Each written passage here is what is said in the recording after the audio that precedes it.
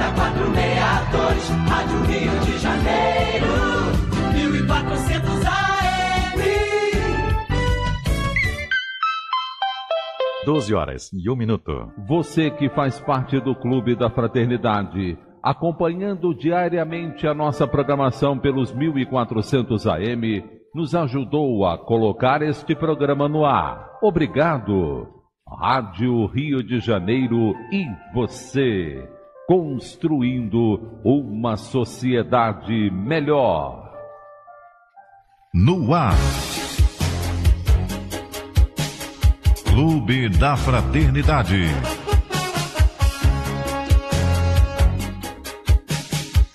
Um programa dirigido aos ouvintes e cooperadores da Rádio Rio de Janeiro. Clube da Fraternidade. Olá, ouvintes da Rádio Rio de Janeiro. Estamos no ar com o programa Clube da Fraternidade. Você já sabe, é este canal de relacionamento entre você, que nos ouve agora em 1400 kHz, ou você que está conectado através do nosso site, o Rádio Rio de Janeiro.am.br. Você pode participar deste programa ligando para o 3386 1400, repetindo 3386 1400 ou mandando uma mensagem pelo WhatsApp da rádio. Qual é? 984867633. Porque hoje é um dia diferente aqui no programa. Estou recebendo a visita do nosso doutor Altair Figueiredo, nosso gerente administrativo, advogado e com conhecimento também todo na parte de contabilidade, né, Altair? Toda essa parte aí contábil é contigo também, né? Bom dia, Cristiano. É isso aí, temos atuado junto à rádio, né? Nessas áreas, sempre buscando oferecer é, com qualidade e dedicação o que a, a Fundação precisa, né? Atuar na parte jurídica, às vezes, no âmbito do Ministério Público, no Ministério das Comunicações, e também a parte administrativa, de cumprimento das obrigações fiscais. É isso que nós estamos O que é muito importante, sempre foi, principalmente nesse momento, né, Otávio? Principalmente. Estamos aqui também hoje, quem está pelo Facebook, está vendo aqui à minha direita, à esquerda de vocês aí na tela, o Cristiano Bernardo, é o outro Cristiano aqui da Rádio Rio de Janeiro que vocês sempre ouvem falar, mas ele está aqui do meu lado, o rapaz que cuida do Clube da Fraternidade, a parte de cadastramento, envio de boleto. Boa tarde, Cristiano. Boa tarde, Cristiano. Boa tarde, ouvinte da Rádio Rio de Janeiro. Isso aí, o Cristiano vai é, é, conversar aqui com o Altair, atualizar a todos vocês sobre o que, que nós estamos fazendo neste momento para atravessar essa crise. Na técnica, o nosso Pablo ele não está tão feliz hoje, porque o Fluminense ontem deu uma escorregada, né, Pablo? Mas olha, temos ali no Facebook o Caio, a Jéssica, no telefone a nossa querida Sheila e a Leila está ali também para ajudar. Olha, se você ligar agora, você vai falar com a Sheila e quem sabe com a Leila também, no 3386-1400. No Facebook nós estamos ao vivo, a Andréa Veiga já entrou mandando um olá. E você pode mandar o seu comentário, você pode compartilhar, porque esse programa de hoje é muito importante, porque o Altair vai trazer informações sobre como as ações que a rádio, que a fundação, acima da rádio tem a fundação, que é a Fundação Cristã Espírita Cultural Paulo de Tarso, a fundação que opera a Rádio Rio de Janeiro. Então, Altair, quais as ações que a fundação está tomando para ajudar a rádio a atravessar todo este momento. Cristiano, é muito importante né, a gente destacar que a Fundação sempre viveu dentro de um cenário de restrições né, financeiras. Isso ao longo de muitos anos. Mas, é, recentemente, essa crise que se abateu né, sobre a nossa economia tem trazido muitas dificuldades para nós. E a gente sempre vem buscando mecanismos de como ajustar né, este momento à realidade financeira da Fundação. O número de mantenedores da rádio ele tem estado em média na ordem de 5 mil mantenedores inscritos. E você veja só, no mês de fevereiro, foi um mês curto, mês de poucos dias úteis, mas mesmo próximo ao mês de janeiro, nós ficamos apenas com um patamar de 55, 58% de boletos envia dos enviados recebidos. Pode repetir, Otávio? 55% de boletos recebidos. Ou seja, de um montante de 5 mil, nós recebemos ali 2.500 boletos. Isso em fevereiro. Em março, que nós estamos hoje no dia 16, nós estamos com 28%. Então, onde isso nos preocupa? Porque provavelmente, é, como o saldo corrente, ou seja, das minhas despesas que eu realizo na rádio, são despesas fixas, de energia, salário, é, despesa de telefonia, água, esgoto, essas coisas todas que a gente tem que pagar, né? A gente está empatando despesa com receita hoje, dia 16. Só que nós temos ainda 15 dias pela frente. Diante desse cenário, o que nós temos buscado sempre, isso é uma constante na rádio, é reduzir despesa, porque a receita, a gente sabe que as famílias estão passando dificuldade. Isso é uma realidade que o nosso país atravessa. Então, agora mesmo, nós acabamos de firmar junto à empresa Energia, que nos fornece energia lá em Magé, um contrato de mudança tarifária. Isso é importante, nós estamos mudando de uma tarifa convencional, que hoje um quilowatt custa da ordem de 85 reais, vamos passar para um quilowatt da ordem de 35, 36 reais. E isso foi uma ação nossa, nossa, não foi? ação nossa, iniciativa nossa. Envolvendo isso, o nosso diretor. O diretor de operações, que isso. fez os, os, cálculos de consumo de energia naquele local. Então nós vamos ter uma economia da ordem de 6 mil reais. Mas agora, ao mesmo tempo, tomamos conhecimento, e todos, né, que as companhias elétricas do Rio de Janeiro, tanto a Light aqui no Rio, como a Enel, que é a companhia que opera na região dos lagos, Niterói, vai aumentar lá 20%. Você vê, essa economia que nós estávamos já é, vislumbrando, ela vai praticamente ser anulada com esse aumento. Então a gente vive um momento assim, a gente busca a contenção, mas surge uma ação de ordem até governamental que determina, né? É a agência reguladora que concede esse aumento. A gente aqui, é, no, no, âmbito interno, a gente busca às vezes é, realinhamento né, no quadro de pessoal, é, um quadro mais enxuto. A gente agora sai um funcionário de férias e o outro que está fica absorvendo as tarefas. Quer dizer, nós já chegamos ao nível, Cristiano, de operar assim com o mínimo do mínimo. Tá? Então, todo o dever de casa nós já fizemos. Isso é importante dizer, Altair, porque nós aqui é, estamos sempre solicitando que o nosso ouvinte, aquele que pode, que ele se torne um elo forte. E é importante que ele saiba que nós internamente estamos também cortando na carne. Verdade, verdade. Isso tem nos levado, às vezes, medidas de automações, né? Em setores que talvez é, não fosse o momento, a gente é, adiasse, né? Mas é importante que a gente faça isso agora. Por quê? O nosso conselho e o próprio Ministério Público, ele precisa esperar da fundação se não resultados tão superavitários assim, mas pelo menos que fiquemos ali com um grau de, de um déficit muito próximo do, do, do, nosso, da nossa receita né, é, anual. A gente já vai para terceiro ano consecutivo, não fossem aí alguns mantenedores com contribuições, às vezes, muito acima da sua média mensal, sabe? a gente teria encerrado 2017 com déficit. E vamos encerrar com um pequeno superávit. Mas 2018 nós estamos vivendo um momento difícil e com isso queremos aqui reforçar nosso pedido, dizer nossos mantenedores, não nos deixe só. O Gerson falava isso aqui sempre. Exato. Essa rádio não é nossa. Ela é a rádio, é do movimento espírita. Ela é o veículo de divulgação da doutrina espírita. É através da nossa rádio que a gente leva todo o conteúdo, consolo, consolo né, é essa esclarecimento sobre a doutrina espírita. É para isso que nós estamos aqui prestando esse serviço.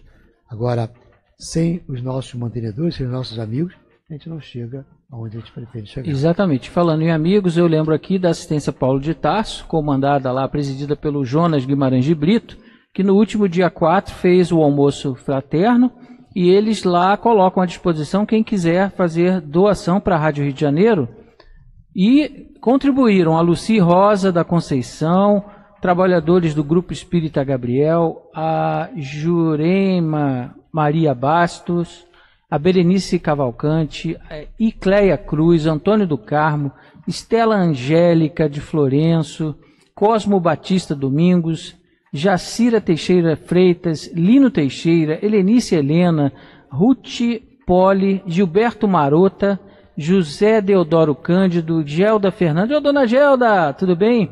Fernandes, Elga Fernandes e a nossa querida Divani Costa de Apiaçu. Todos contribuíram com valores é, muito importantes aqui para a Rádio Rio de Janeiro, que nós agradecemos muito. Porém, Altair, deixa eu só mandar um alô aqui para os nossos ouvintes, O Sander também está aqui, ó, acompanhando a nossa programação, o nosso o- o- responsável pelo colocar os programas aí no ar, fazer a programação de final de semana.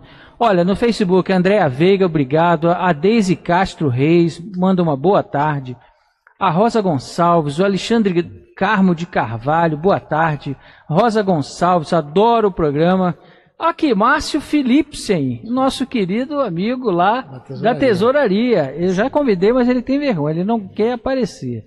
A Fátima Abade, obrigado. A Marilene Melciades, olá. A todos vocês, muito obrigado pelo carinho. Porém, Altair, temos aqui ao meu lado o Cristiano Bernardi. Isso aí. E eu sei que você tem uma pergunta para ele. É. A pergunta que eu vou dirigir ao Cristiano, porque é ele que controla diariamente nesse movimento para nós, é como está exatamente o retorno. Porque nós, meus ouvintes, nós é, apuramos que em torno de mil mantenedores, mil cadastros, né, estavam sem o CPF. Aí o nosso Cristiano Bernardo teve essa conosco, conversou, trouxe né, esse número para nós e trabalhou todo um movimento de remessa de mil cartas para os mantenedores solicitando esse cadastramento. E eu gostaria que o Cristiano pudesse dizer como é que está esse retorno, é, porque eu faria um comentário a respeito, que é muito importante, porque nesses mil, provavelmente tem ali pessoas que haviam desencarnado, que a família não comunicou, pessoas que foram para outros estados, embora pudessem continuar ouvindo a rádio, pela internet, que também não atualizaram seus endereços e os correios não chegam. Em razão também de, de outros aspectos da rede bancária, que a gente sabe que tem esse do DDA, mas o CPF tornou-se, a partir de outubro de 2017, fundamental. Nenhum banco hoje recebe boletos se não constar o CPF. Eu queria saber, Cristiano, como é que está esse momento de retorno? Esses mil boletos que nós enviamos mês passado, tem retornado? Como é que está isso? Então, seu Altair, é, no mês de fevereiro enviamos uma remessa gerada aqui pela Rádio Rio de Janeiro de 995 boletos para todos os contribuintes que não estão com o CPF cadastrado. Boletos esses que o banco parou de emitir desde novembro para todos os contribuintes sem o CPF.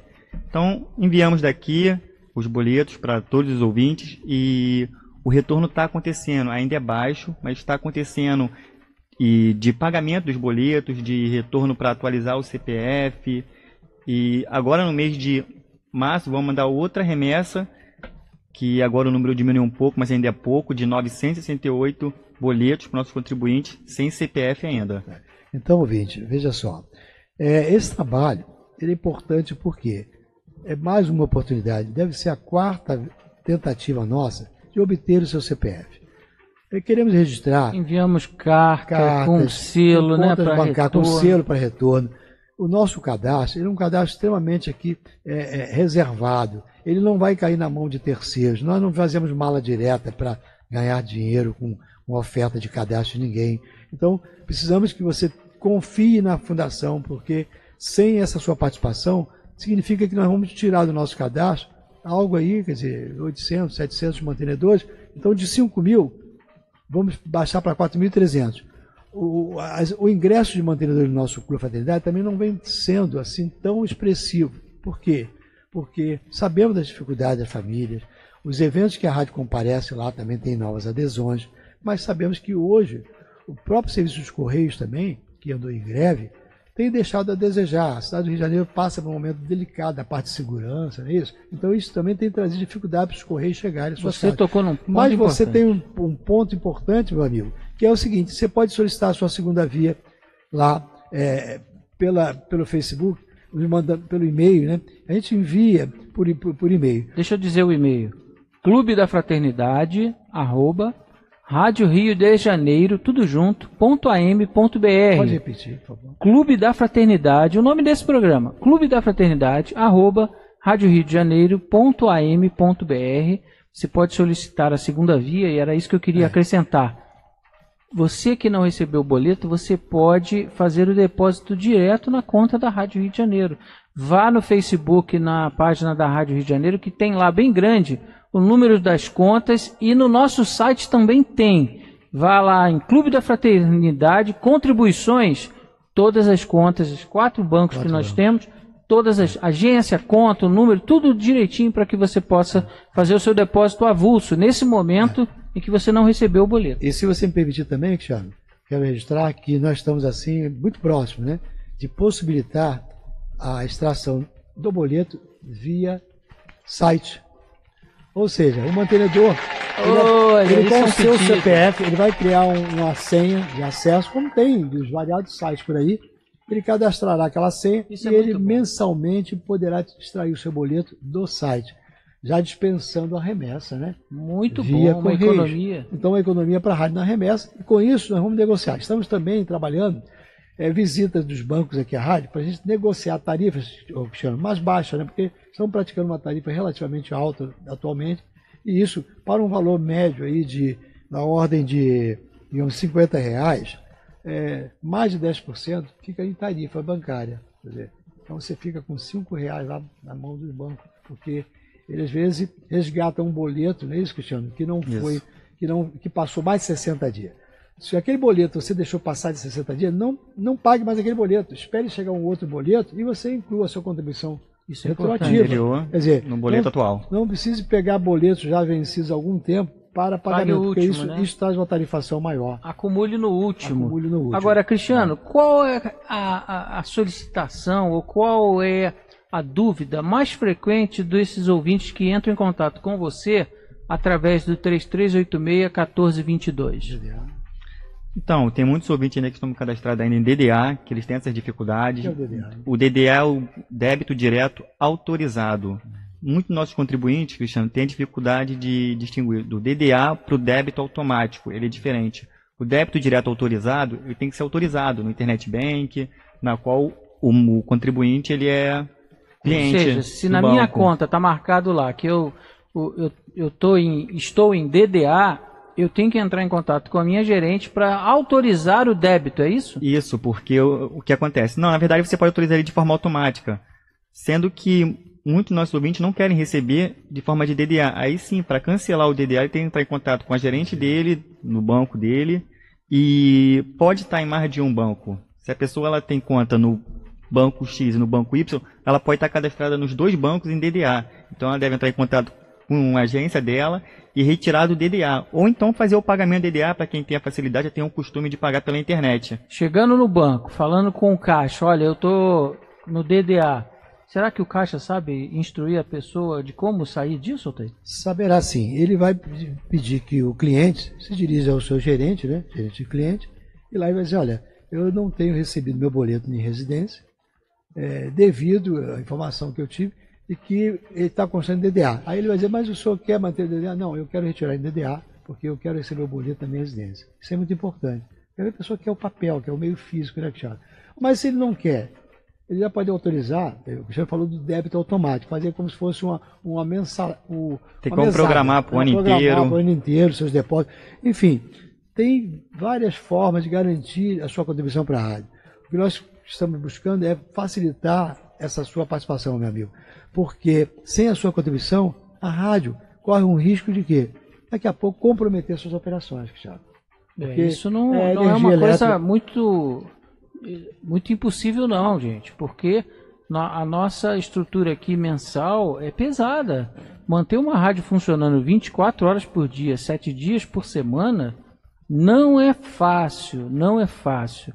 Nós trabalhamos aqui, operamos no limite, como o Altair já disse, e a o apoio que vem do movimento espírita é na divulgação da importância da rádio.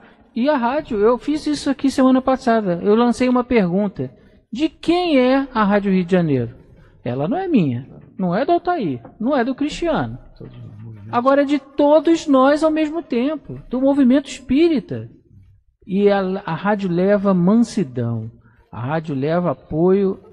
Quantas pessoas já não se libertaram do suicídio, das drogas, do álcool, ouvindo a programação da rádio, né, Altair? Uma depressão, né? Hein, Cristiano? Verdade, a gente escuta muito de mantenedores que entram em contato e falam o quanto que a rádio é importante para eles, que ajudou em vários momentos e ajuda até hoje. O programa está chegando ao final, mas eu gostaria de pedir ao Altair para ele fazer um arremate aí no que é mais importante de deixar de recado para o ouvinte, Altair. O- a direção da rádio, né, é presidida pelo nosso irmão Roberto Nascimento Vitorino, ela continua à frente né, de todas as ações. O, o Roberto Vitorino tem se empenhado de maneira é, muito intensa né, para tornar a nossa rádio, exemplo do que o nosso irmão Gerson fazia, né, sempre uma rádio a serviço do movimento espírita. E estamos nos aproximando de, de mais uma eleição no nosso quadro né, diretivo da Fundação e a gente roga a Deus para que sejamos unidos para vencermos, porque sem essa união a gente não chega né, a lugar é nenhum. A sociedade passa um momento difícil, sabemos, as famílias todas né, passando por, é, por essa crise, mas a rádio lá de cá cumpre com o seu papel, porque aqui a gente busca fazer é, muito com pouco. Isso. Tá? Sempre a nossa tônica, né, Cristiano? Então valorizamos cada real que entra do mantenedor aqui dentro.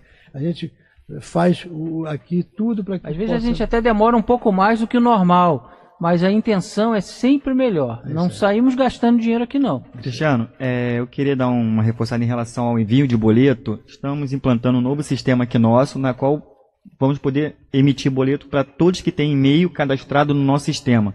Então você que tem e-mail, entre em contato conosco para atualizar no seu cadastro, para em breve você está começando a receber o boleto pelos correios e pelo e-mail. Isso é muito bom. Eu quero aqui aproveitar que eu recebi um, um zap do Dinho de Deodoro, um querido amigo, que me lembrou de uma coisa importante. Diz ele, boa tarde, Cristiano, estou te ouvindo. Lembre o pessoal, por favor, que às 15 horas tem o programa Somos Todos Iguais, em favor da ação Cristã Vicente Moretti. Um bom programa, abraço. Obrigado, Dinho. Lógico, somos todos iguais. É um programa que mora no nosso coração. Nós todos aqui que apoiamos a Vicente Moretti. Eu posso dar um... Por favor. Eu queria mandar um abraço para o nosso Alfredo, né? Isso, está nosso ouvindo, comandante, ele, lá de Portugal. É, de Portugal, né? Ele o seu Antônio também. O seu Antônio, isso aí, toda a família né, do seu Alfredo está lá em Portugal.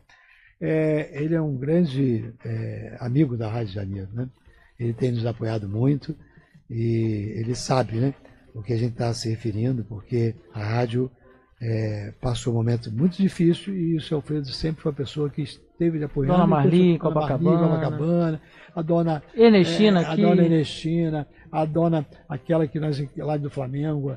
Dona Deise. Dona, dona Deise. E a dona Deise, a dona Deise, alô, dona Deise. Não deixe de cadastrar o seu CPF, nosso cadastro, para a gente possa continuar recebendo o seu boleto, tá bom, irmão? É isso, meus Sim. irmãos. É... Daqui a pouquinho, na sequência, tem o programa é, Evangelizarte, com a Kate Portela. E, na sequência, o Valdenir Cruz com Ouvindo Você. É, você, não sou eu não. Ouvindo Você. Isso! Valdenir Cruz, uma da tarde. E depois a nossa querida Cláudia Dutra, diretora da rádio, com o Movimento Espírita em Foco. O que está em foco no Movimento Espírita, a Cláudia vai trazer às duas da tarde para você. Fique ligado na, na, na nossa, na nossa programação. Quero mandar ainda um abraço a Mariana Viviane, que entrou aqui pelo Facebook. A Marilene Melciades. O pessoal fala assim, Cristiano, quando você lê, você não bota a vírgula. Eu falei assim, poxa, é muita coisa ao mesmo tempo para fazer. Falar, ler, interagir e o programa chegou ao final. Mas mesmo assim, eu vou melhorar. Prometo a vocês. Um grande abraço e até o próximo programa. A Rádio Rio de Janeiro apresentou. Clube da Fraternidade, um programa dirigido aos ouvintes e cooperadores da Rádio Rio de Janeiro.